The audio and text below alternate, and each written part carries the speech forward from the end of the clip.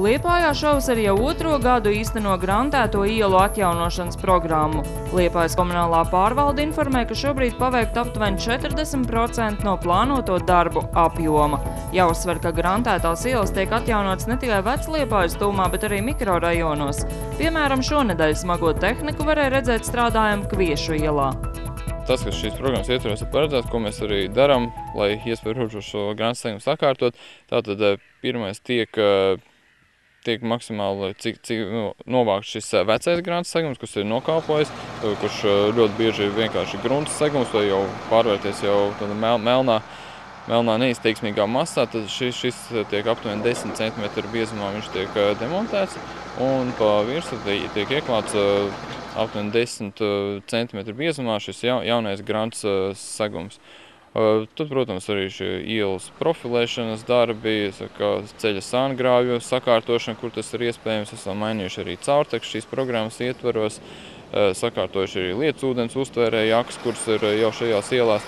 Šis, protams, pasākuma komplekss ir pietiekami, pie, pietiekami tāds apjomīgs priekš tā, tā, ka mēs veicam šo grāmatas atjaunošanu, bet tas varbūt nav tādā ielas rekonstrukcijas nozīmē, ka nu, mēs ne, neuzlabojam tādā nozīmē, ka šobrīd cilvēkiem grāmatā iela būs izstīsies kā asfaltētā un ka lietas ūdens tiks atrasināts pilnībā. Protams, iespēju atjaunojam tādu, kā šī ielas varbūt bijuši uz savā sākotnējā vajadzībām un to, lai varētu pa viņām ērti pārvietoties. Grantēto ielu atjaunošana notiek par Liepājas pašvaldības piešķirtajiem līdzekļiem. Darbi turpināsies līdz 2015. gadam. Ir paredzēts, ka mēs kopumā tiks sakārtoti 33 km grāmatēto segumu ielu pilsētā. Tas nav pilnīgi visas grāmatētās ielas, bet tās ir, tās ir ielas, kuras tiek pastāvīgi izmantotas satiksmē.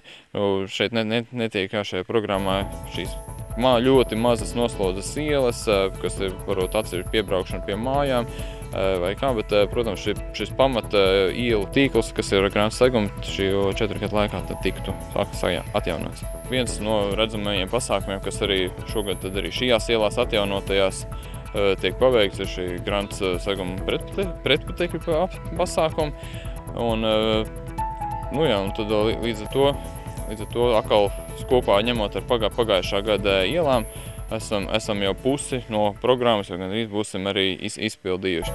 Grants segums jau atjaunots Riņķu ielā un Ziemeļielā Laumas mikrorajonā, kā arī Amatas, Ķoniņu, Egļu un Pupu ielās Liepājas ezertūmā. Liepājas komunālā pārvalde ziņo, ka darbi vēl turpināsies Zaļās Birs mikrorajonā un Dzintarielas apkārtnē esošajās grantētajās ielās. Vēl komunālā pārvalda vasaru izmanto, lai pilsētā atjaunot ielu ātrumvaļņus, jeb tā sauktos guļošos policistus. Jāpiebilst, ka šogad Liepājā uzstādīti arī pieci jauni guļošie policisti. Viens no tiem Dunikas ielā pie šeit esošās pirmskolas izglītības iestādes. Pārsvarā ātrumvaļņi tiek uzstādīti pēc paša iedzīvotāja ierosinājuma. Jāuzraksta iesniegums pilsētas domē, un tad ātrumvaļņa nepieciešamība katrā konkrētā vietā izskata transporta un infrastruktūras komisija tiek ņemt vērā šie papildus faktori. Galvenais, kas ir, protams, šie pirmskolas izglītības iestādes vai tā ir izglītības iestādes, kā skolas, tad iekškvartālos, kur nav šīs gājēji ietas, kur gājēji pārvietojās kopā automašīnā pa vienu brauktu. Tad, protams, kaut kādas intensitātes atsevišķos momentos, posmos, tad tas viss tiek ņemts vērā un tad arī izvērtēts tās labākās vietas un vai vispār vajadzīgs. Protams, cilvēkiem brīžam liekas, ka vajadzētu mums visās ielās uz, uz, uzbūvēt kādu makalu autobraucēju. Man liekas, ka viņi ir pat daudz, bet nu, tāpēc jā, šīs visas pušu intereses tiek ņemtas vērā un tad izvēlēts kāds vidusceļš. Liepājas komunālā pārvalde rūpēs ne tikai par pilsētas ielu uzturēšanu, bet arī pludmales labiekārtošanu. Jūlijā šeit uzstādīja desmit jaunas pārvietojamās toaletes, ko izgatavojas konkursā par tolešu izveidi un uzstādīšanu uzvarējušais vietējais uzņēmums Skanplast Latvija. Jaunās tūlītes bija nepieciešams, jo vecās jau savu laiku bija nokalpojušas.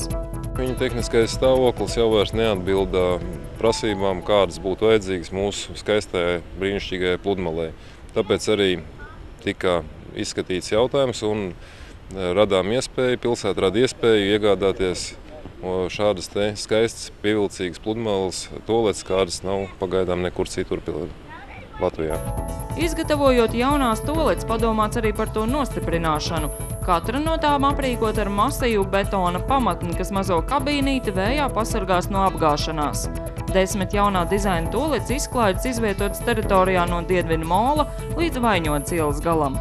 Pludmalē tolets Liedaga zonā vispār tika izvietots, sāka tikt izvietots ar to laiku, kad uh, Liepā iesaistījās zilā karoga ja, kustībā. Un līdz tam laikam tas, šie jautājumi tika risināti daudz citādāk. Nu, kādam, protams, vienmēr liksies, ka tieši tajā vietā, kur viņš ir izgājis, tieši tur ir vajadzīgas būt tai toltē. Un, ja ir jāpaiet kādi daži desmiti metru uz vienu vai uz otru pusi, tad jau tas tā kādam ir problēma. Citam atkal liksies, ka viņas ir pa daudz un pludmali ir pielikt ar pārāk daudz visādi inventāru. Nu, tas ir ļoti subjektīvs viedoklis. Jāpiebilst, ka aptaujātie pludmales apmeklētāji jau atzinīgi novērtējuši jauno tolešu dizainu. Tiešām superīgi. Daudz labāk izstāsta nekā iepriekšējais dizains. Man liekas, ka ir ok, tomēr tā baltā un zilā krāsa, tādas jūras krāsas arī man patīk. Piestāv liepais pludmalē. Jā, pēc manām domām, jā. Iekšā pat spogulis ir. O, oh, super, meitenē tu noteikti patiks. Jauno tolešu izveids un uzstādīšanas izmaksas no saviem līdzekļiem segus Liepājas komunālā pārvalde, un kopējā summa bez PVN ir 11 162 lati.